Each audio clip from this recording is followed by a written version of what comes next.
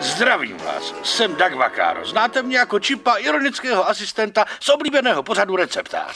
Chlap v zástěře. Ovšem dnes vystupuji ve službách korporace Global Dynamics. Postavit si svůj vlastní zahradní grill není o nic složitější než instalace voliéry nebo obřího bazénu. Je to hračka. A jestli nemáte rádi kuře, ne, ne, ne, ne, já kuře rád. co třeba divočáka? Nebo mečouna? Nebo hrošíka? Hmm, hrošík. Veselá zástěra není v ceně. Lusknutím prstů večeři nepřičarujete. Co ty na to, Bárte? Chtěl bys mít nový zahradní grill? A můžu v něm pálit důkazy? Všichni můžeme pálit důkazy. Vidíš, nebylo to tak těžké, víš, Zlato. Eh, Táti, potřebovala bych se narovnat. Dobře, holčičko, tatínek tě vystřídá.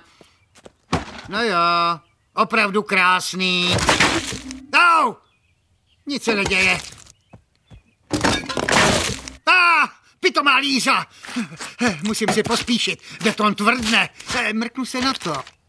Hmm, anglický návod zničen. Musím zkusit francouzský. Le grill. Co to sakra je? Eh, Tak dělej. Tak.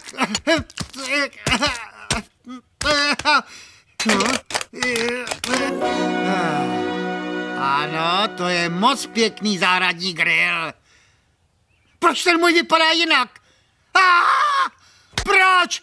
Proč je život taková mrcha? Proč musím po každý všechno takhle zvorat? Ah,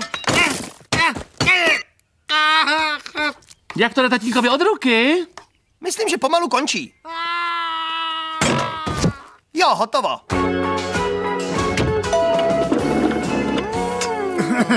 Chci vrátit tenhle zahradní grill. Vrácené zboží musí být v krabici a opatřené účtem. Budete-li sledovat světelný kužel, uvidíte útržky účtu zde a zde a trosky krabice zde, zde a patrně i zde. Lituji, tuto firemní čepici jsem si nevysloužil vracením peněz. Ah.